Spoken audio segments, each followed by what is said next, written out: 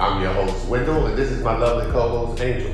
Hello, and we are here at Maryville Care Center in Phoenix, Arizona. Yay! And today's show, we will be talking about dealing with behaviors. That's right, Angel, and we have some very special guests to help us with that. On that note, Angel, are you ready to start the show? I sure am, Wendell. Well, in that case, let's get this party started. Party over here. Let's have a conversation. Let's talk CNAs. Let's talk CNAs. Let's talk CNAs. Okay. Let's have a conversation. Uh, thank you for being on the show. And if you would, can you introduce yourself and tell us how long you've been a CNA? Okay, so my name is Brianna Higgins, and I just started being a CNA in August. All right, fresh meat, fresh meat, fresh meat. All right, all right. I'm Sandra Allen, and I've been an NACNA for 45 years now, plus. All right, all right. It's still going. That's mama. I'm Kylie Zapp. I've been a CNA since I was 16. All all right. right, and how old are you now? I'm 26. Oh, okay, so about 10 years.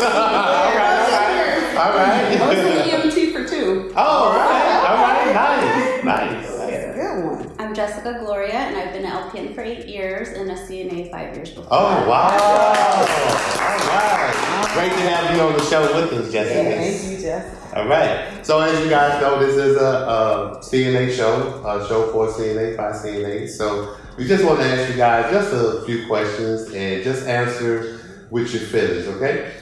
All right. So what made you choose this profession to, as, as a CNA, I should say, since we have a nurse in the in the house. but what made you be a nurse as well? But what made you uh, choose this profession to be a nurse? I mean a CNA. I'm sorry. CNA, well, I think CNA, in order to get to the top, you gotta start to the bottom, from the bottom. So I think CNA was like a good step in order to way, work your way up to the top. Mhm. And at the same time, you get to help everybody and understand what they're going through so you know how and why they're functioning the way that they are. Okay. Okay. Down I to understand that. Yeah. I understand. Good answer. Then I uh, chose being a CNA. I got my degree in bookkeeping, but I wasn't happy with it, so I went back to being uh, uh, a, a NA, and um, I just like elderly. They are my life. They're, they're everything mm-hmm. to me. I just love the elderly, the mm-hmm. sick, and the frail. You know, that's the reason why I mm-hmm. chose to stay as a CNA. Right, right. And who want to read a book, right? Type it in. yeah, who want to do that? We had to, we had to take heed. All right.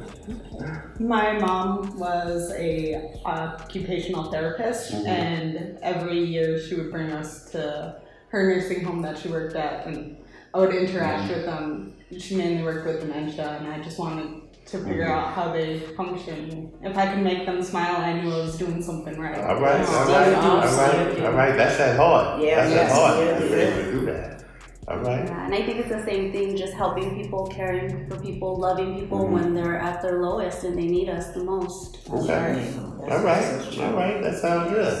I like that. So we have what? Probably a total of uh, I don't know. Uh, I didn't add it up. What? Sixty years of of seeing CNA profession At here. least, at at least, least, at least. All right, That's awesome. all right. That's good. So, um, what would what would you ladies um, what would you say is more challenging, working with skilled or behavioral?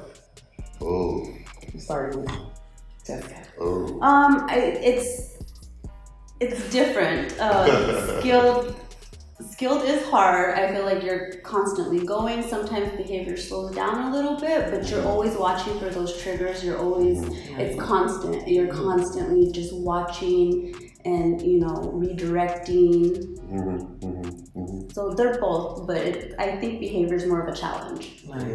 Is there like uh in skill I know you can plan your day. Right. Can you plan your day when you're doing behaviors? No.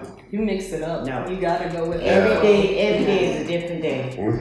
Every hour is a different hour. So Okay. yes, it's very challenging. They keep you guessing. yeah. You got to be on your p's and q's at all times. I, I was today. I worked in the the um, the behavior unit, and it was like it was slowed down and everything. But you know, we had to you know be on our guard. Yeah, What all everybody was doing. Mhm. They were doing something different. Somebody wanted to try to get up on their own, and they really can't. You got to make sure right. you know all of that. So it, it is a, a big difference. Right, you know. right. It is, it is. Brianna, now, I, as I understand it, when you was introducing yourself, you're a new CNA. Yes. Yeah, new CNA. what you say, August? Yeah, that's a new CNA. What is that like for you uh, to start right into, jump right into behaviors? Well, like Mama said, every day is something different. But I think like each patient or each neighbor, so we call them now, um, they have their own way of handling each situation. So some people, food calm them down, or sometimes music. I think it's um, depending on what you learn about the patient. Mhm, Really, mhm. Um, really is like the main focus first because then you can know what calms them down or what triggers them or why they do certain things. Mhm. The past usually um, is more important to why they're having a behavior. Mhm, And mhm, that's where patient-centered care comes Right. in too. Mhm. you. And I have to add that she's willing to learn. mhm. She she always asks the questions. She's, she's, she's willing. What would you do if mom if this happened? So she's willing to learn. Yeah. So she, you know that would make her an awesome Yeah. person. So, so. Brianna is one of the rookies you want to take up on that Okay. ring. Nah. Yeah. Come on, Yes. let's fly, Let's Yes. slide, dude. That's right. Okay, all right. So, uh, describe a perfect day. when I go home, knowing that I did the best that I could do, All right. knowing that no one got hurt or injured in any kind of way, not mentally, physically, or or any other way, you know, that would make me happy. That's Okay. what I know. I had an awesome day. All right. All right. All What about you? For me, if I can at least make that person smile and or laugh or know that they've had a good day and they're smiling and laughing and saying bye to me when I'm leaving, I know I did something right and I can right. sleep She's easy very that night. right. She's very good at that. Okay. Okay. Anybody else? Um, I think what most people don't really see sometimes is that CNAs are kind of like work as a team. Mm-hmm. So each section, even though that may not be our patient, I feel like as long as we help each other and the patient gets what they fully need that day, and I think it's a, like I think that would be the perfect day that everybody gets what they need and everybody's satisfied. Nobody's overworked. Nobody's just chilling in the back. Like I think that if everybody's doing their job together, that it'll make the day easier. Because teamwork makes the dream work. Yes, it does. My Already. Already. That's my Already. saying right there. what about you? I think the same thing, just teamwork, having you know your co-nurse on the same page as you, your your whole team. It just Mhm. makes everything go smooth. Mm-hmm. Okay. So, so we're talking about behavior. So, and you guys say team. So, with the looking at it from the team aspect, is it would it be a difference in being a team in behaviors as as it would be a team in skill?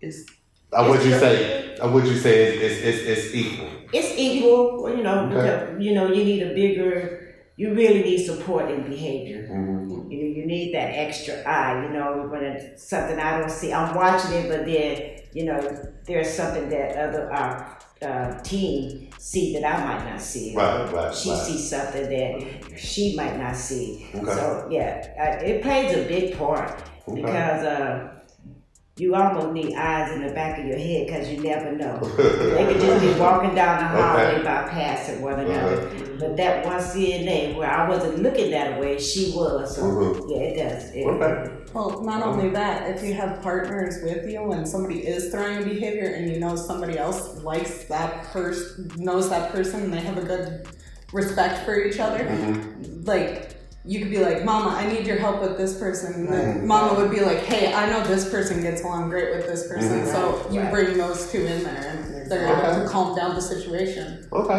and, and, and, that, and that brings me to this question for you, Justice. Being that you was a CNA and now you're a nurse, for you, when you're dealing with the behaviors, do you depend more on the chemical restraints for that neighbor or resident, or do you depend on, on your CNAs to de-escalate those situations? The chemical is really the last thing you want to go to. Mhm, The CNAs are your first line of defense. They're the ones that see the triggers and Okay, redirect. okay. They're the ones that see the behaviors and redirect. Okay. So chemical really is the last thing that we want to do. All right, all right. You you really don't want to do that anyway. I mean, because it just take away from who that person really is. Exactly. Yes. Okay, all right, all right. Okay, so is there any last words? Anybody have any last words they want to say? I think we have a strong team over where we're working because if we weren't strong, we'd all fall apart. Teenagers would be out of control. Okay, all Yeah, right. I really do. I really love what I do. I love my coworkers. You know, all shifts. I love them. You know, it just it makes you want to come to work each and every day. You know, sometimes when I walk in here, my neighbor just like I'm here just as much as I am at home. So that lets mm-hmm. you know I love what I do and I do what I love. All right, all right, Sounds good. all right. Anybody else? I think okay. So when I first started, obviously I was I didn't know what I was going into, but I think with the coworkers that I worked with, uh, I think that they made it way easier for me because if I had any questions, they answered them. I think our communication overall is it's really good. Like even with the nurses, we're really good at like, hey, this is going on, or like if I need help, oh yeah, sure, I'll help you. So I think like that's really good. Like, I really want to like excel and see how how much further I can go into like the healthcare facility. Yeah, she does. Okay, That is awesome. That's what she does. She has an ear. All right. Sound good. And I just want to say thank you to all my CNAs and to every CNA because you truly are the backbone of your nurse. Uh, without you, your nurse can't do their job. All right, all right, all right. So as you guys hear, you know, it, it really equals down to uh, teamwork when you're dealing with different behaviors. Right. And Right. communication. And You have to communication, communicate. With you know whether you're skilled, whether you're in behaviors, especially when you're in behaviors. Mhm. You know, because you're dealing with different behaviors and different things, so you have to communicate in order to help each individual and each other. Yeah. So that's very important. Yeah. Wow, we had an amazing show today. Don't you agree, Wendell? We sure did, Angel. And I would like to leave you with this quote. The problem is the unmet need, not the behavior of the resident.